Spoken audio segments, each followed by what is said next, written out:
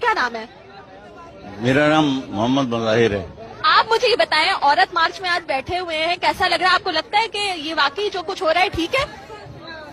نہیں میرے خیال کم ہو رہا ہے۔ تو آپ کو لگ رہا ہے کہ جو خواتین یہاں جمع ہیں اور جن چیزوں کی ڈیمانڈ کی جا رہی ہے جن باتوں کے مطالبات کیے جا رہے ہیں وہ واقعی حقیقی مطالبات ہیں وہ حقیقی مسائل ہیں۔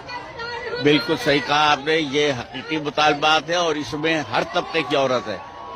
اوپر کی بھی طبقے طبقات کی بھی ہے اور جو لیاری اور ڈرک کالونی اور لانڈی کی بھی خواتین موجود ہیں، تو یہ خوشائن بات ہے اور سب کو باقاعدہ باقاعدہ نمائندگی بھی مل رہی ہے۔